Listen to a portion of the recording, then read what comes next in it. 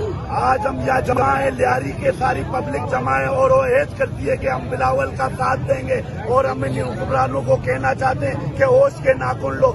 आज आपने सिंध हाउस का पर हमला किया है तो गवर्नर हाउस हमसे दूर नहीं, हम चेयरमैन बिलावल भुट्टो की काल के इंतज़ार में।